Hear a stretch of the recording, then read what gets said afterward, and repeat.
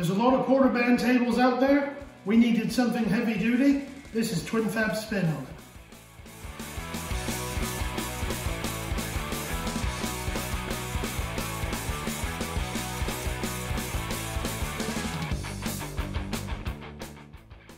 So this is how we made our bandsaw table. We used quarter inch steel plate, 16 by 16. We used two by one by one eighth legs for those, and we use two cross braces to join them together.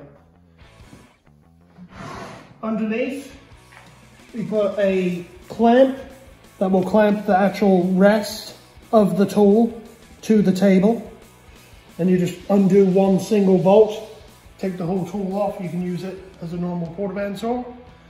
We also put hooks on, so we can put the wires all nice and tidy, so there's nothing in the way of the saw, nothing can get cut. Also, we put a switch on, so you're not worrying about plugging it in, putting a zip tie, unplugging it, so you just switch on, switch off. And we also put leveling feet on, so it can be level on any surface.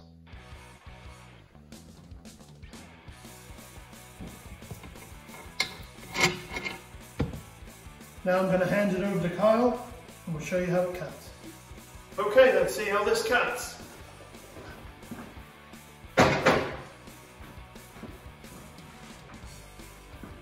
Slight wobble.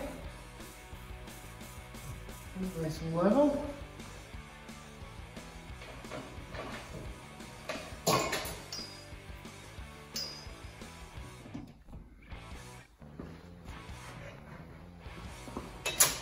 I'm just going to cut a piece of 1 8 aluminum, use the switch.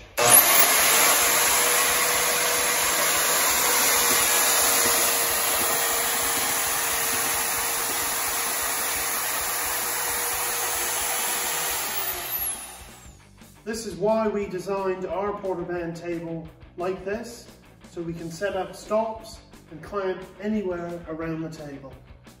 As you can see, we've already got a stop set up so we can make consistent cuts. So let's do a couple of cuts.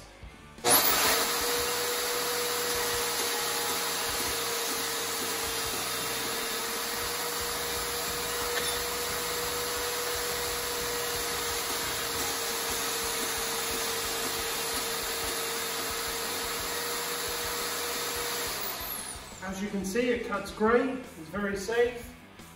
The switch at the front works nice because you can turn it on and off and if something happens, you can quickly turn it off. So this is another video done. It's a great new addition to our shop and it'll be used for many years. Stay tuned for more videos coming soon.